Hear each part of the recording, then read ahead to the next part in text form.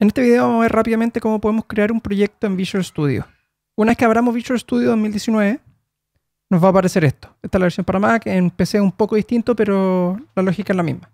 Entonces vamos a apretar Nuevo Proyecto y aquí tenemos que ver, tenemos que seleccionar una plantilla. ¿ya? Vamos a usar entonces en .NET Proyecto de consola. Fíjense una cosa, que sea .NET y no .NET Core. ¿Ya? O sea, fíjense que aquí aparece aplicación de consola, me aparecen dos. Esto proyecto de consola que aparece .NET y esta aplicación de consola que aparece .NET Core. Ya, preocúpense de usar la .NET.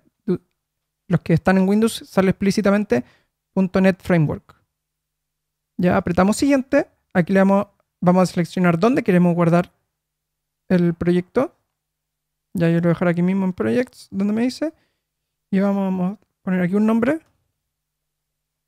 proyecto de prueba y vamos a poner crear.